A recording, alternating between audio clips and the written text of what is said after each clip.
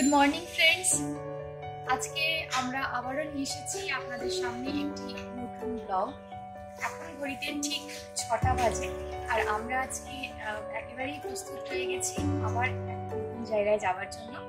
আজকে আমাদের গন্তব্যস্থল হচ্ছে তারাপীঠ, অর্থাৎ মায়ের মন্দির। আজকে পুরো ভিডিওটা দেখতে থাকুন। আমি সমস্ত ডিটেলস আপনাদের জানাব। কীভাবে আমরা যাচ্ছি এবং কতটা সময় লাগছে ওখানে গিয়ে জায়গাটা সম্পর্কে সমস্ত তথ্য আমি দিতে থাকব এবং আমার সঙ্গে আজকে স্পেশালি আছে আমার ছেলে ডোডো এবং আমি আজকে আমার পরিবার নিয়ে যাচ্ছি। কিন্তু সৌমাঞ্জন যাচ্ছে না, আমরা অবশ্যই ওকে। দেখতে থাকুন সঙ্গে আমরা বেরিয়ে পড়েছি এখন ছটা দশ, আমরা যাব হাওড়া স্টেশন। স্টেশন যাব। প্রায় পঁচিশ কিলোমিটারের মতো ডিস্টেন্স চলো হাওড়া স্টেশনে গিয়ে জানাচ্ছি। এখন ঘড়িতে ঠিক সাতটা দশ। এক ঘণ্টার মধ্যে আমরা হাওড়া স্টেশন পৌঁছে গেছি। যাচ্ছি ছ নম্বর প্ল্যাটফর্মে ট্রেন ধরার জন্য। কুলিপ স্পেশাল ওখানে গিয়ে আমি ডিটেলস জানাচ্ছি। স্টেশনে এসে পৌঁছেছি। ছ নম্বর প্ল্যাটফর্ম আমরা যাব পুলিশ স্পেশালি এখন ঘড়িতে ঠিক আটটা বাজতে পাঁচ। আমাদের ট্রেন টাইম হচ্ছে আটটা পঁয়ত্রিশ।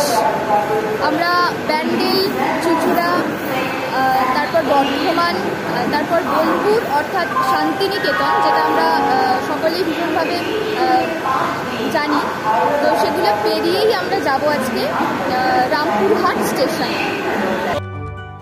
কোথাও ঘুরতে যাওয়ার সময় যখনই স্টেশন থেকে ট্রেনের প্রথম দেখা মেলে, তখন এমনিতেই মনটা বেশ ভালো লাগে।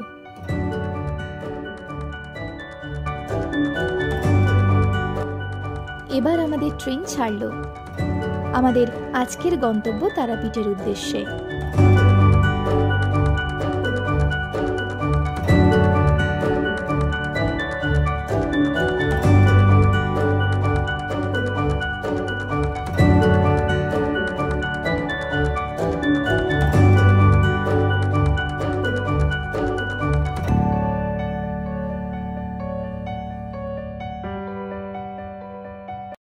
তার কিছু সময় ব্যবধানেই ট্রেন এসে পৌঁছালো ব্যান্ডেল জংশন।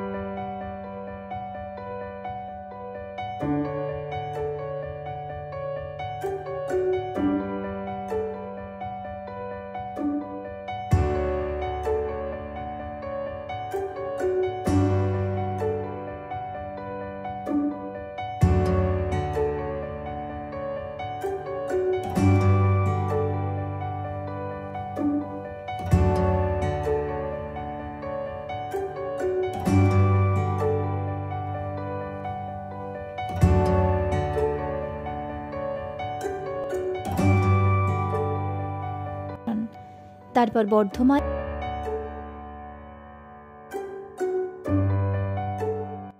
এবং বর্ধমান থেকে ছেড়ে আবারও সবুজ সমারোহের মধ্য দিয়ে আমাদের অতি প্রিয় স্টেশন বোলপুর।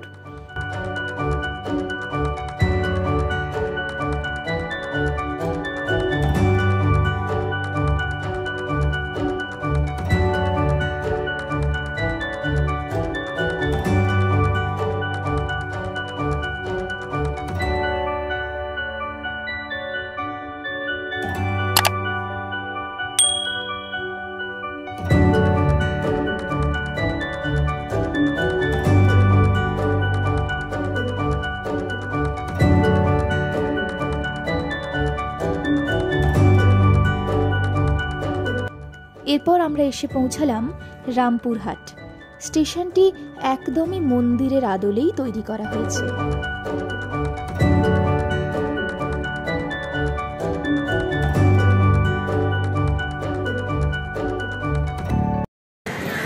আমরা এসে পৌঁছেছি রামপুরহাট রেল স্টেশনে।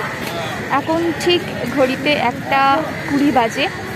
হাওড়া থেকে রামপুরহাট রেল স্টেশন সময় লেগেছে সাড়ে চার ঘণ্টা।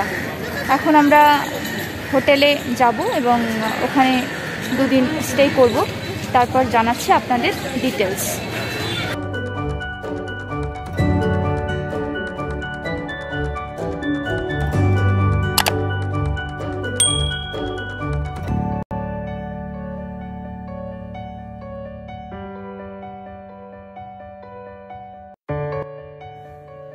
স্টেশন থেকে বেরিয়ে আমরা গেলাম টোটো করে ভারত সেবা সংঘ যাত্রী নিবাসে, যা একদমই মন্দিরের কাছাকাছি দূরত্বে অবস্থিত। স্টেশন থেকে মন্দিরের দূরত্ব সাত কিলোমিটার। আমরা এসে পৌঁছালাম তারাপীঠ ভারত সেবাশ্রমে।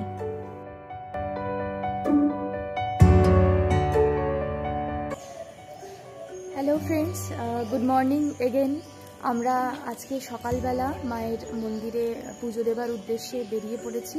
এখন ঘড়িতে ঠিক সাড়ে পাঁচটা বাজে। আমরা মন্দিরের ভেতরের কিছু ছবি বা মায়ের প্রতিমা তোমাদের দেখাতে পারব না, কারণ মোবাইল ফোনস ভেতরে একেবারেই অ্যালাউড না। শুধু মন্দিরটাই দেখাবার চেষ্টা করব। আর আমাদের হোটেল ভারত সেবাশ্রম থেকে মন্দিরের দূরত্ব একেবারেই কাছে। Walking distance seven to eight minutes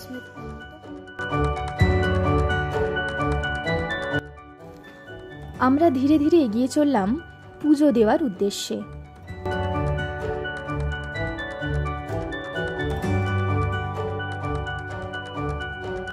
মন্দিরে যাওয়ার রাস্তায় পড়ে বেশ কিছু দোকান। যেখান থেকে সংগ্রহ করতে পারেন মায়ের ছবি, মূর্তি ও নানান পুজো সামগ্রী।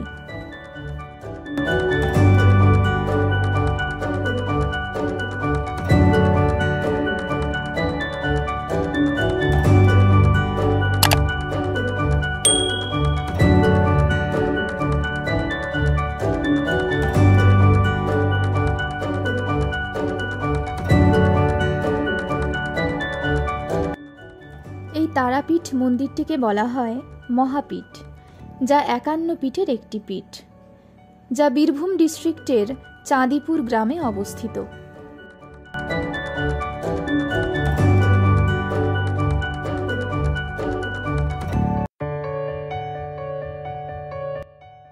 বলা হয় দেবীর দেহের অংশ এখানে পড়েছিল।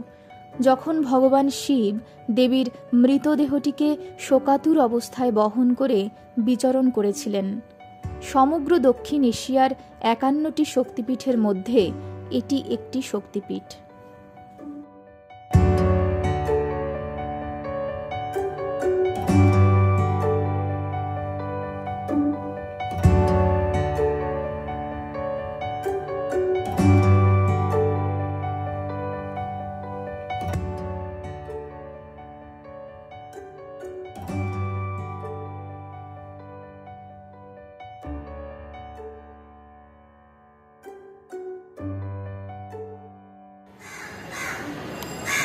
আমি পুজো দিয়ে ফিরছি। প্রায় তিন ঘণ্টা থেকে সাড়ে তিন ঘণ্টার মতো লাইন দিয়ে মায়ের পুজো দিলাম। একটা ভিআইপি স্পেশাল এন্টারিং আছে। কেউ যদি আপনারা চান, তাহলে সেই লাইন দিতে পারেন। সেখানে তিনশো টাকা করে ওরা ধার্য করে। আমরা জেনারেল লাইনে ছিলাম, কারণ আমরা, আমি মনে করি আমরা ভিআইপি নই। তো হোটেলে ফিরছি, দেখেই বুঝতে পারছেন। এই হচ্ছে আমাদের ভারত সেবাশ্রম। এই ভারত সেবাশ্রমে আপনারা মাত্র একশো ষাট টাকা অথবা দুশো কুড়ি টাকা পার ডে হিসাবে ঘর পেতে পারেন। কিন্তু আশ্রমের কোনো স্টাফ থাকবে না আপনার ঘরটিতে পরিষেবা দেওয়ার জন্য। হোটেলের রুমে দিলাম তালা, মায়ের পুজো দিয়ে এবার একটু বাড়িতে ব্রেকফাস্ট করে বেরিয়ে পড়লাম বামা খ্যাপার বাড়ি দেখতে। চলো, তোমাদের দেখাই।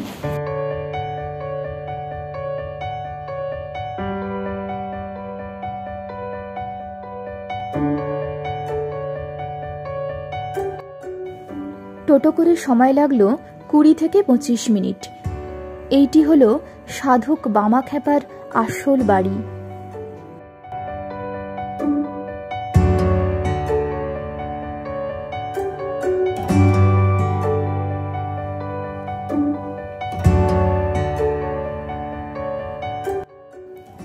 আশেপাশে আরও কিছু মন্দির দেখে আমরা ফিরতি পথে। এখন রাত সাড়ে বারোটা আর আমরা এখন রামপুরহাট স্টেশনে চলে এসেছি। আমাদের বাড়ি ফেরার কথা ছিল ফিফটিন্থ অগস্ট অর্থাৎ আজকে দুপুরবেলা। কিন্তু হঠাৎ করে ট্রেনটা ক্যান্সেল হওয়ার জন্য আমরা যে ট্রেনটা বুকিং পাই, সেটা রাত একটায়। সেই জন্য তড়িঘড়ি করে হোটেল ছেড়ে আমরা স্টেশনে চলে এলাম। সকলকে হ্যাপি ইন্ডিপেন্ডেন্স ডে ভীষণ ভালো থাকবেন। আর যদি আমার এই ভিডিওটা ভালো লাগে আপনাদের, তাহলে লাইক করবেন, অবশ্যই একটা কমেন্ট করবেন এবং শেয়ার করতে ভুলবেন না। Thank you